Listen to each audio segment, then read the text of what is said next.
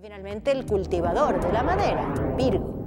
Virgo representa al guardabosques en el bosque, quien más sintonizado con la madera.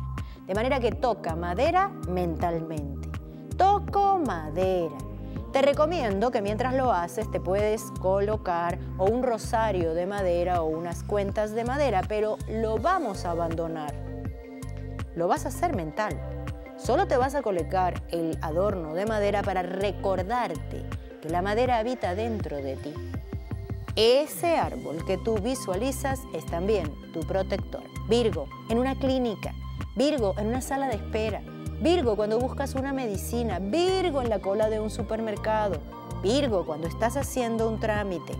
Imagínate apoyado en tu árbol, el árbol de la vida para que ese árbol te ayude a recorrer el río de la vida con muchísimo éxito y seas el triunfador que naciste para ser. Amado Virgo.